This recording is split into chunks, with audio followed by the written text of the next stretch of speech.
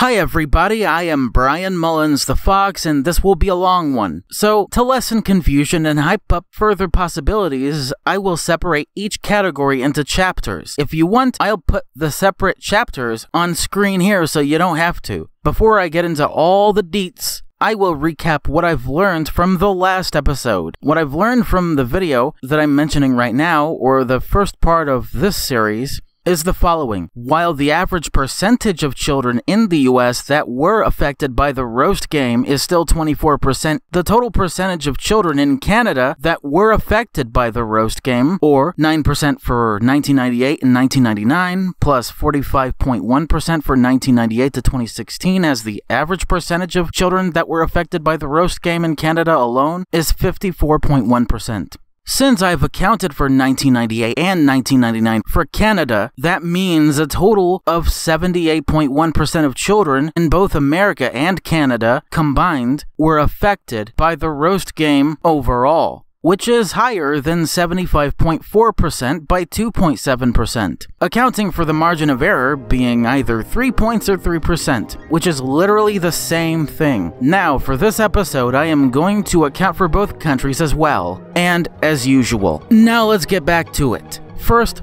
let's get to hypothetical Christmas dinner prices versus actual Christmas dinner prices. The methodology for verifying the average price of a 10 to 12 person Christmas dinner during the roast game era, or 1998 to 2016, is the following. Number one, collect all the hypothetical prices for each hypothetical scenario when it comes to Christmas dinner during the roast game era, of which the average price without the centerpiece meat, either turkey or ham, is $42.46. 2. Add the averages of both hypothetical scenarios and divide them by 2 for both countries separately. Number 3, we'll then see how much we would need to count off price-wise for the average price of both centerpiece meats during that era and whether or not it matches the exact amount that is counted off due to waste. If it does, that proves that the average price of both centerpiece meats during the roast game era, which is $57.58 in total, is exactly the price that is cut off in reality because either 1. The centerpiece alone is the average price of a 10 to 12 12 person Christmas dinner during the roast game era, which is obviously self contradictory and false, or the more than likely correct option. 2. The centerpiece alone is the only food item that needs to be counted off price wise due to rampant and systemic food waste. So now, let's play a clip from hypothetical Christmas dinner numbers by the year 1998 to 2016 for reference. The same goes for Canada with hypothetical Canadian Christmas dinner, which is from the 2023 series, the Canadian Post Roast Game. Hit it. Version number 1. 1998, $62. 1999, $61.40. 2000, $60.43. 2001, $59.69, plus potatoes for mashed potatoes $64.04. 2002, $66.85. 2003, $62.98. 2004, $65.91, 78.5% of $84, first example of the contradictory trend that can be measured. 2005, $66.38, 76.3% of $87. 2006, $64.74, 74.4% of $87.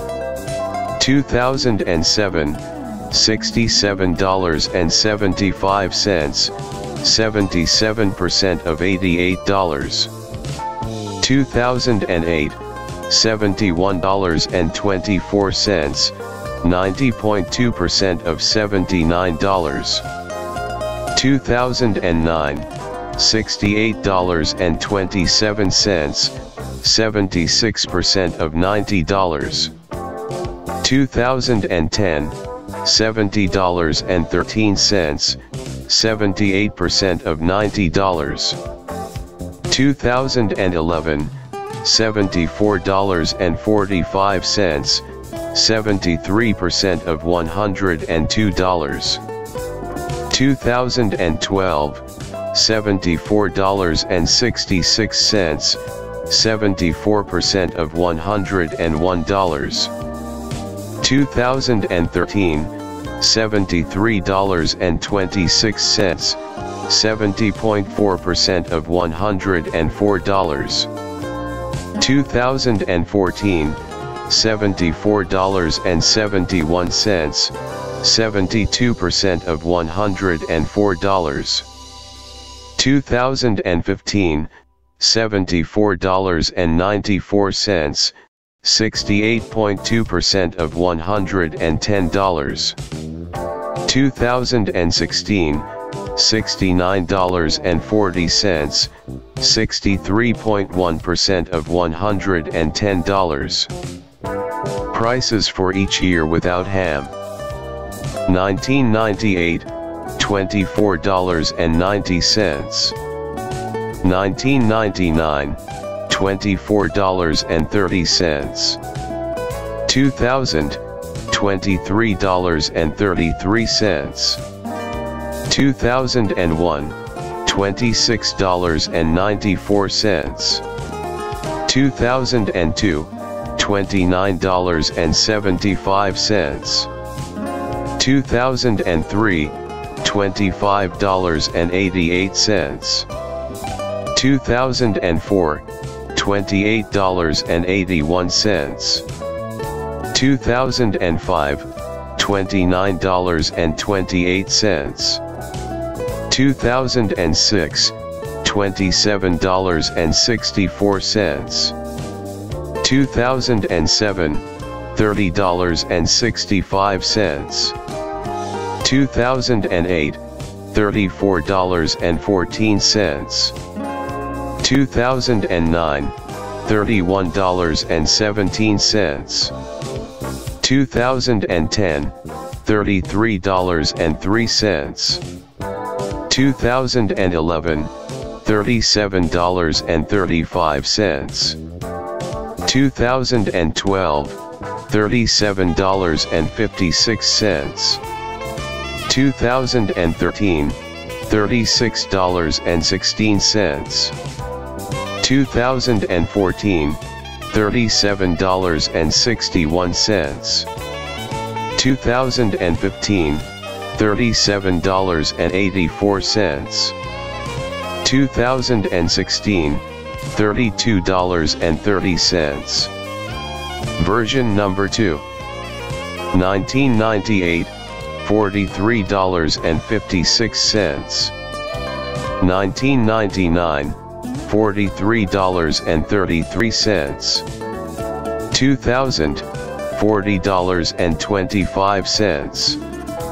2001, $47.32. 2002, $48.78. 2003, $46.21. 2004, $48.36, 57.6% of $84. 2005, $49.46, 57% of $87. 2006, $48.11, 55.3% of $87. 2007, $53.44, 61% of $88.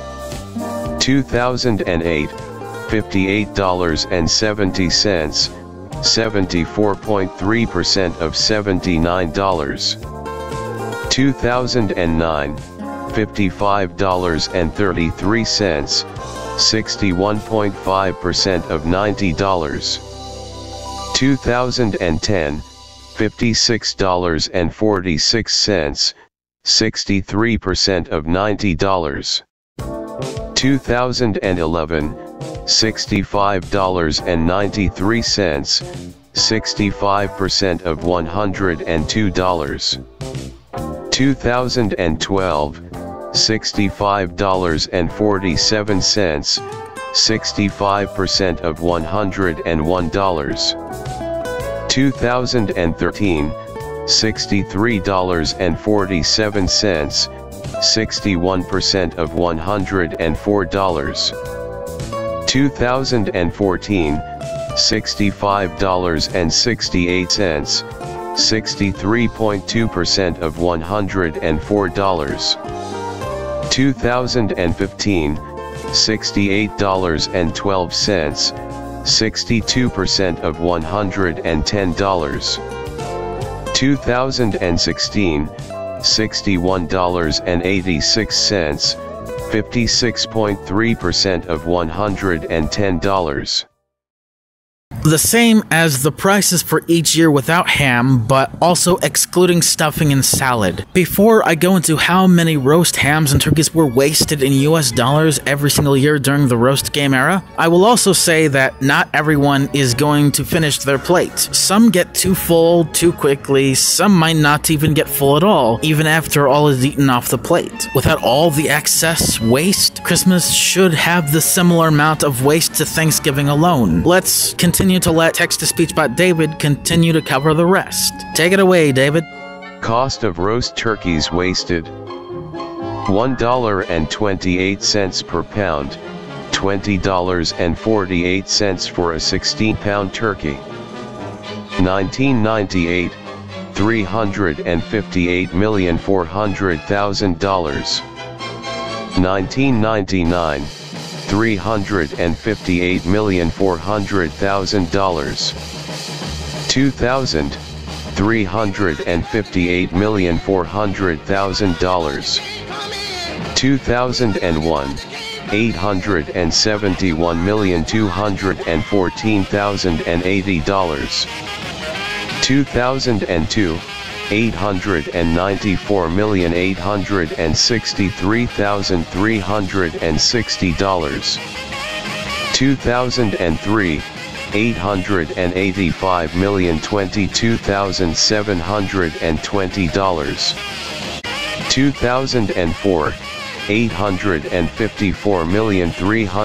eighty thousand seven hundred and seven dollars. Two thousand and three three five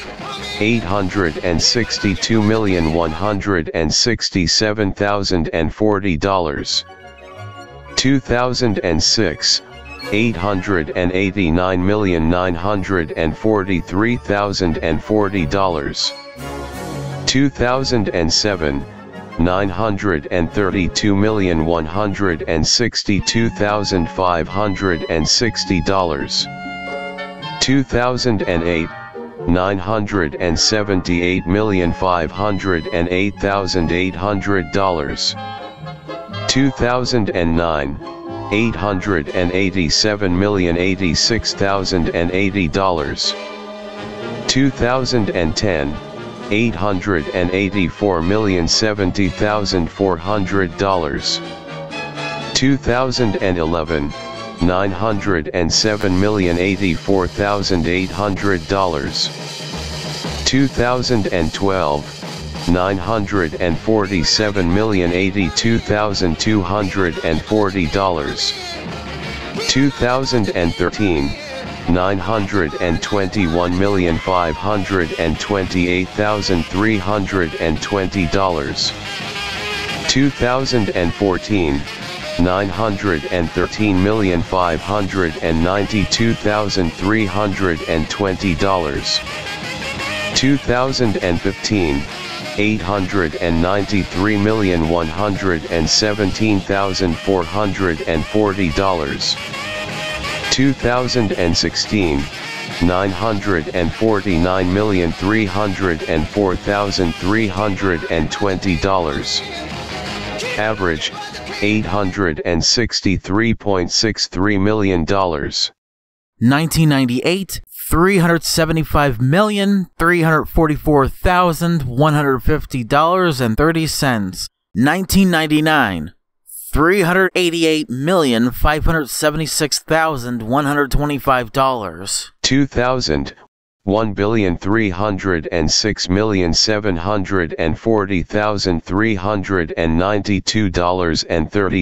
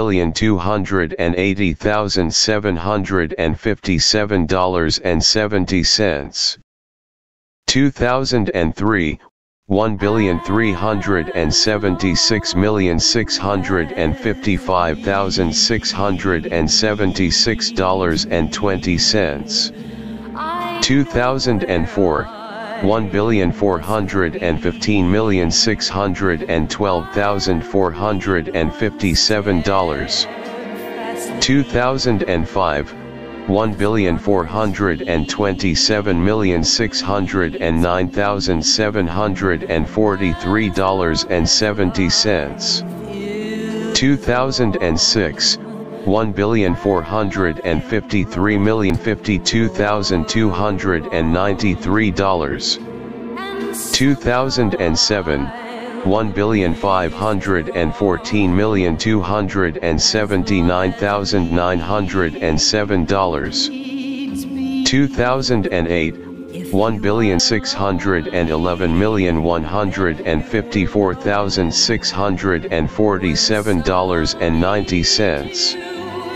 2009, 1 billion 587 million 229,006 dollars and 30 cents. 2010, 1 billion 548 million 341,194 dollars and 40 cents. 2011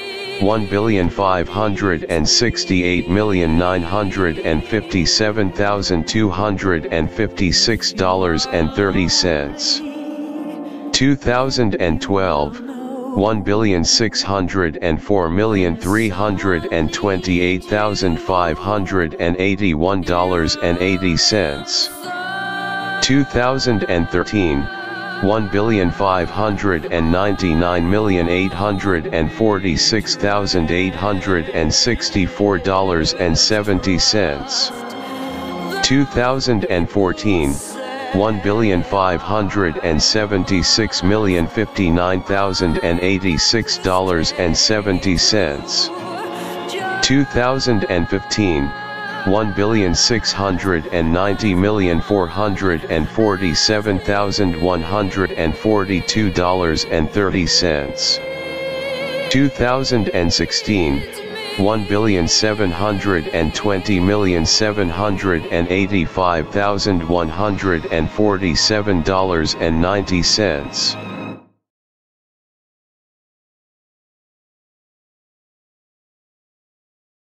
Here's the average of version number 1, $68.08. Now here's the average of version number 2, $54.20. Here's the average of both of them combined, $122.28.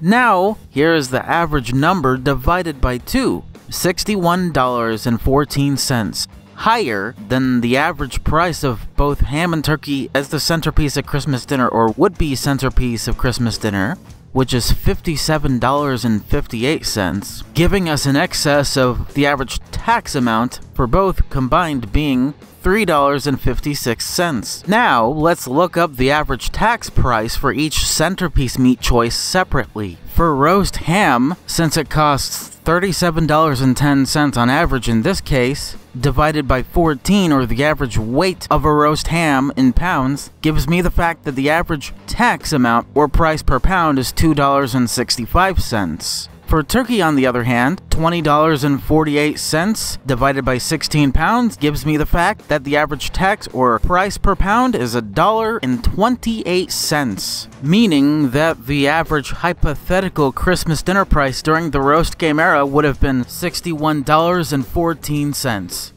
and the tax per centerpiece for each centerpiece meat item would be $3.56, but that's not the case. On average, it is about $3.93 when you combine the two, meaning that the hypothetical Christmas dinner price, on average, is off by 37 cents meaning that I can safely discard the $61.14 figure. That means I can also discard the $57.58 figure, meaning that I'm left with a more sedate $42.46 on average during the roast game era on average from 1998 to 2016, proving my point yet again. I thought they would add up, but nope. If it were to have been lower than $57.58, I would have been screwed, but it's higher. So, all of this proves for the United States that all of this can only be the case that when you're only able to compute the data when you cut off both centerpiece meat choices, price-wise, during the roast game era, that also means that either you can't count it as consumption of both or either of these meat choices, or the most likely and factually correct explanation is that they wasted them sometime after having bought them to begin with, meaning that this also proves that the roast game happened happened, and that the hypothetical Christmas dinner price and table during the roast game era can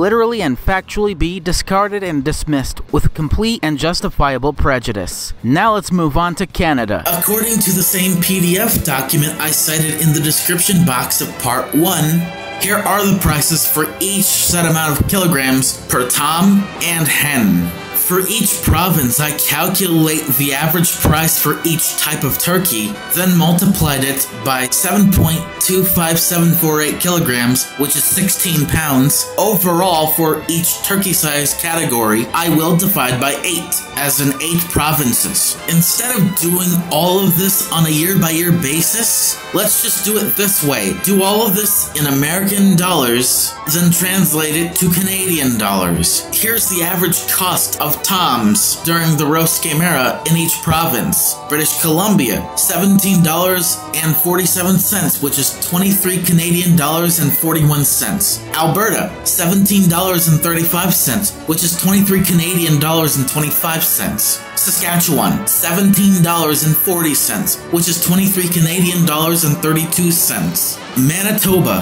$16.82, which is 22 Canadian dollars and 54 cents. Ontario, $16.90, which is 22 Canadian dollars and 65 cents. Quebec, $17.10, which is 22 Canadian dollars and 92 cents. New Brunswick, $16.65, which is 22 Canadian dollars and 31 cents. And finally, Nova Scotia, $15.10, which is 20 Canadian dollars and 24 cents. By the way, all of these US dollar prices are multiplied by 1.34 to account for Canadian dollars. The average cost of a Tom in Canada overall in US dollars during the roast game era? $16.85. In Canadian dollars, that's $22.57. British Columbia, $14.64, which is 19 Canadian dollars and 62 cents.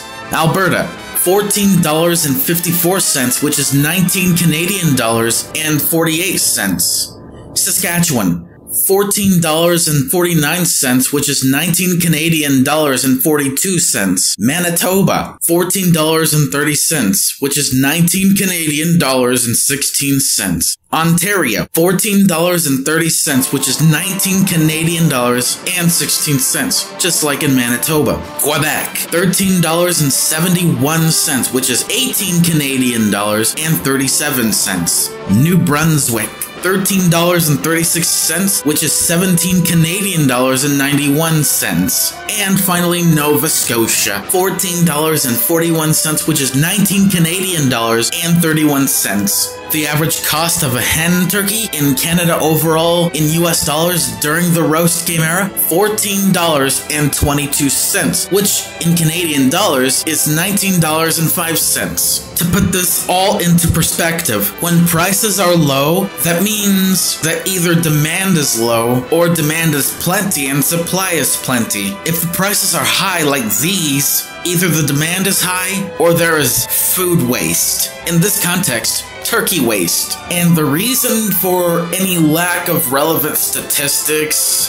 for turkey consumption, supposedly during the roast game era, is that either, which is three options A, they don't buy the turkey and they have a different preference instead, likely children. B, they overspend their money and throw away the centerpiece anyways because they don't want it or they don't desire it. Or three, the consumer does neither and doesn't have Christmas dinner in their house. This is why statistics have their limits, and this is clearly a demonstration why statistics, when it comes to the consumption or the spending the money on a certain centerpiece, be it turkey or ham during the roast game era in both America and Canada, don't exist during the roast game era and can only exist in the post roast game era, but in small numbers. In comparison to 1997, the average weight of a turkey, which is 16 pounds in America, is 16 pounds in Canada, no matter if it's a hen or a tom. So, overall, doing all that math, the average price of a turkey in Canada, accounting for both toms and hens, in US dollars during the roast game era, is $15.54, or in Canadian dollars, $20.82. I know exactly how supply and demand works. Prices are subjective and are changed, be it because of high demand and low supply, or high supply and low demand. It could be cheaper either way. Either people aren't intending to buy it, or they overspend their money and waste food in the process. So now let's put all of this in perspective. This is the Canadian hypothetical Christmas dinner, price wise, for the sake of argument during the roast game era, which will definitively prove why Christmas dinner statistics don't exist in Canada during the roast game era and can only exist in the post roast game era. So, turkey in US dollars, $15.54, which is $20.82 Canadian. Mac and cheese, $14.16, which is 18 Canadian dollars and 98 cents. Sweet potato casserole, $3.58, which is $4.79 Canadian. Pecan pie, $3.37, which is $4.52 Canadian. Mashed potatoes, $5.34, which is $7.15 Canadian. Stuffing, $4.74, which is $6.35 Canadian. Green bean casserole, $4.66, which is $6.24 Canadian. Salad, 99 cents, which is $1.33 Canadian. Pumpkin pie, $2.07, which is $2.78 Canadian. Cranberry sauce, $1.38, which is $1.85 Canadian. Creamed corn, $1.13, while in Canada it's $1.52. And finally, bread rolls, $1.04 or $1.39 Canadian. Again, these menu items aren't in chronological order in comparison to America, of course. So in total, in Canadian dollars, the average price of a hypothetical Christmas dinner for the sake of argument is 77 Canadian dollars and 72 cents which is $57.10 US. If that's not how or what amount the average Canadian intended to spend or has spent at all, take off the centerpiece. Then it would be $56.90 Canadian, which is $41.19 US. Even when we count off the centerpiece of Christmas dinner in Canada during the roast game era, price wise, it's still more than what the average American has spent each year on average during the roast game era. Now let's compare it to how much the average Canadian actually spends on food and see if it matches up with reality or not. Drum roll, please.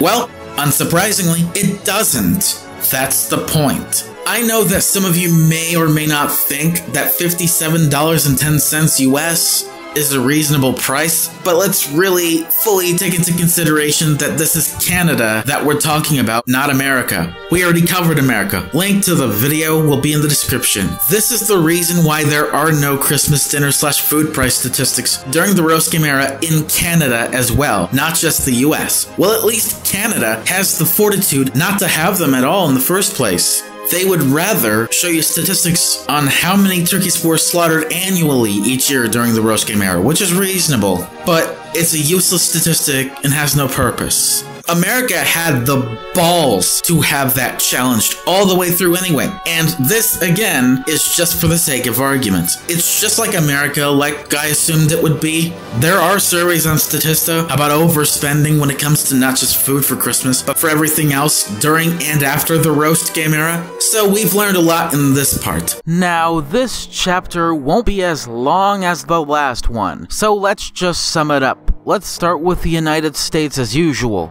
These numbers for hams and turkeys when it comes to waste would have been precisely the same amount for each year when it comes to consumption, but by that assumption's own logic, either Americans spent more on food than they actually did in reality for each year during the roast game era, or food waste is not a positive price-wise, but consumption is. The average price of a 10 to 12 person Christmas dinner during the roast game era would have been way higher than even the average price of the hypothetical Christmas dinner during the roast game era. Or $71.25 is way more than $61.14 which also means that I can discard the bigger number than $61.14 I already discarded earlier in this video, meaning that either Americans spent way more than they would have even spent on each separate centerpiece meat choice, or they wasted them, given that food waste in general is a minus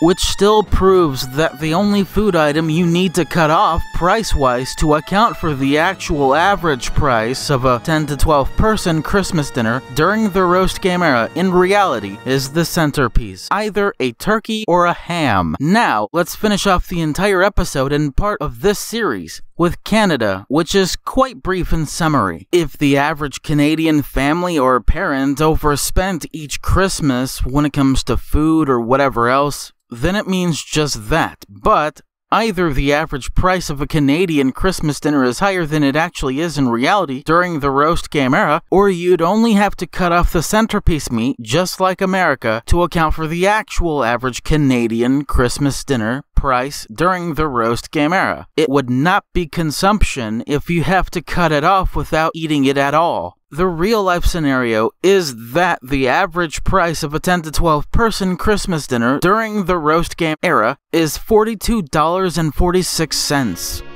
the real life scenario that all these numbers that would have actually counted as consumption can only be the case if Americans and Canadians actually consumed the said meat choices, as opposed to having wasted them in reality. You can't have it both ways. You can't have them consume the same amount of centerpiece meat items as they wasted, because at that point, by its own logic, consumption stats for each year would have been zero. That's why consumption stats like these don't exist for the very reason why they should exist, hypothetically. And that's why waste stats like these exist in the first place. Thank you for watching this entire long ass video. I'm sorry if it's too long for some people, but it has to be that way. Tune in next time where I just go over the contrary to what I've proven during the entirety of the Roast Game topical arc timeline from 2017 to 2021, meaning that by the Roast Game Awareness Month this year in October, by the 20th, I will celebrate seven years since the topic's very inception and existence. I am Bryan Mullins the Fox signing out. See you then.